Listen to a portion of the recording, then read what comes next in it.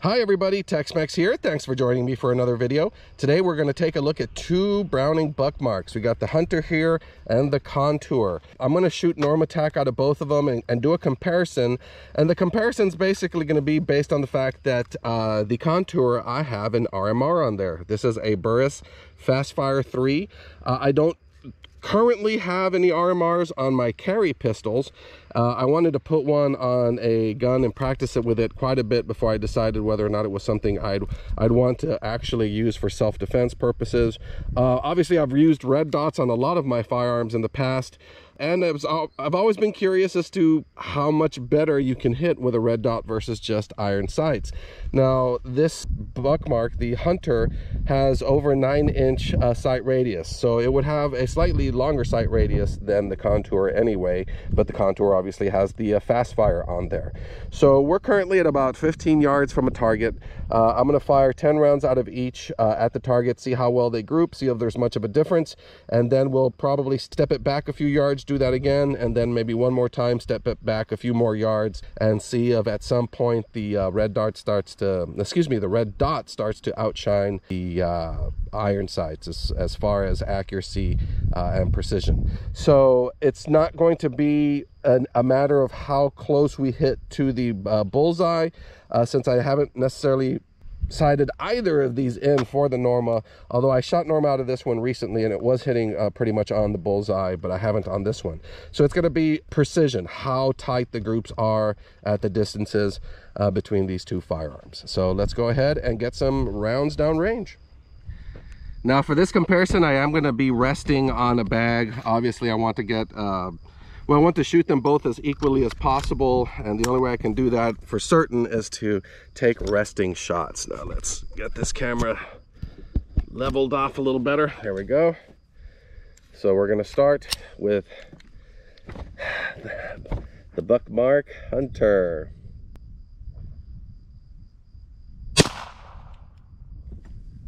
Oh, failure to eject.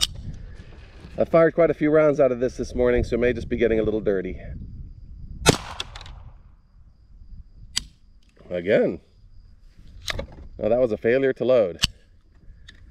Yeah, it's probably just getting a little bit dirty.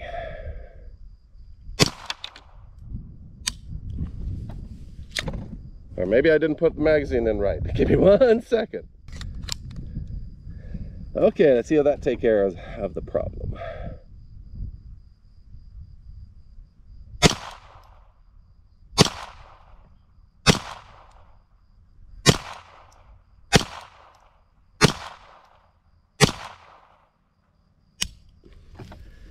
And that's 10. It didn't lock back, strangely enough. I think it is getting a little gummed up. Now let's try the contour.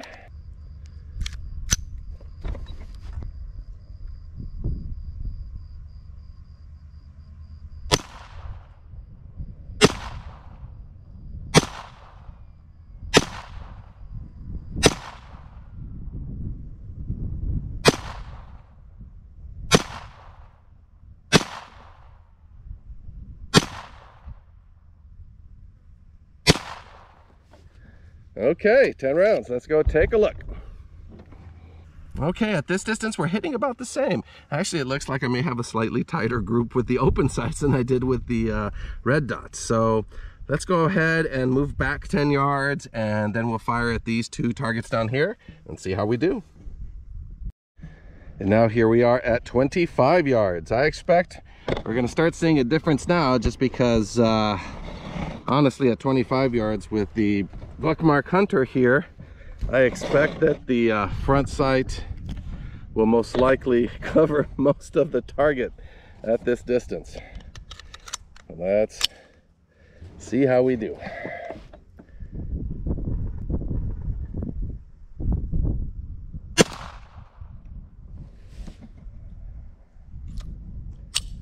Yeah, another failure to eject. Another failure to eject.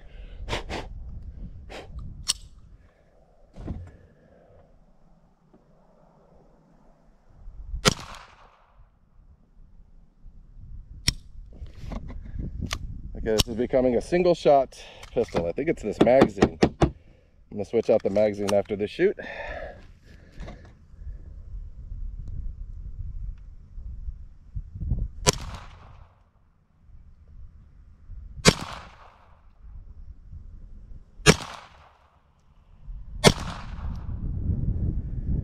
Wind's picking up. Yeah, I wasn't kidding. The wind really is picking up. Blowing my GoPro off. So let's finish the last few rounds out of this.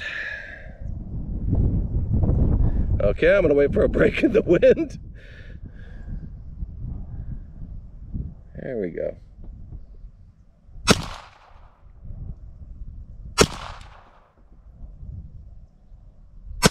And that's 10. Now the contour with the red dot.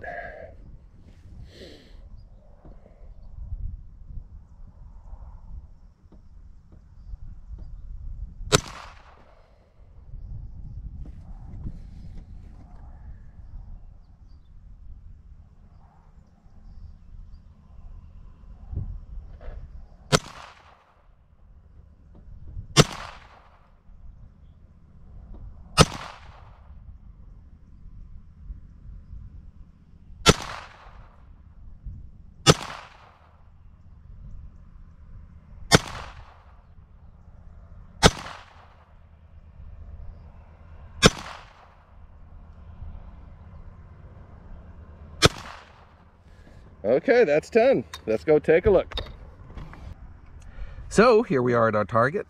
It looks like they did about the same. I mean, you can say the red dot did a little bit better uh, than the open sights, although the open sights did well. There's just a couple up here. Uh, if it hadn't been for those, I'd say that the open sights was doing better than the red dot. Uh, they're still pretty comparable to each other. So let's use these last two. We're gonna go back 10 more yards and see how we do. Okay, and here we are. I uh, just measured it. We're at just under 40 yards. So let's see if I can hit the target without shooting my camera down there. so I switched out the magazine to see if it's the magazine causing the problem on the uh, Hunter. So let's see how we do. Yeah, at this point on the Hunter, the front sight pretty much covers the whole target.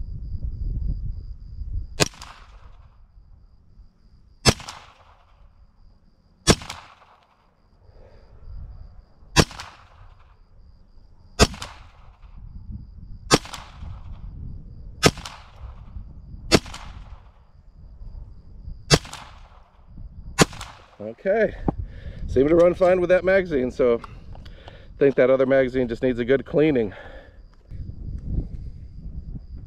And now the contour. Let's see how we do. Boy, that red dot is jumping around at 40 yards.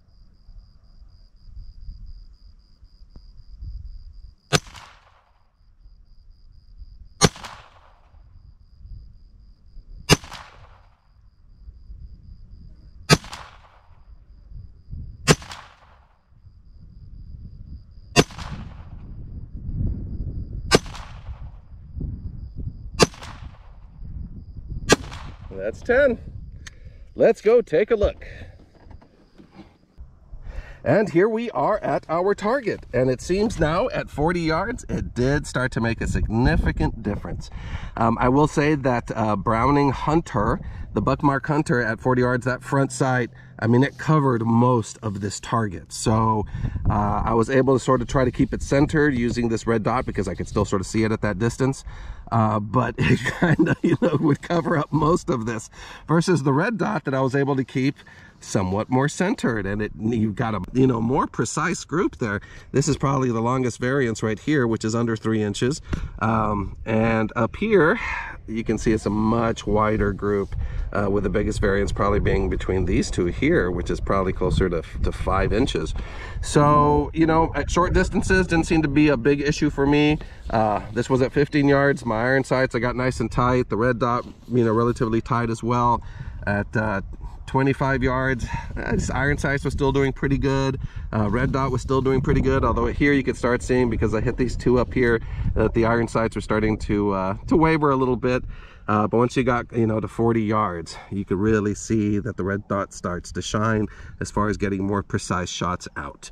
Uh, so anyway, this is fun test. I hope you all enjoyed and learned a little something from it. And uh, I will see you all in the next video.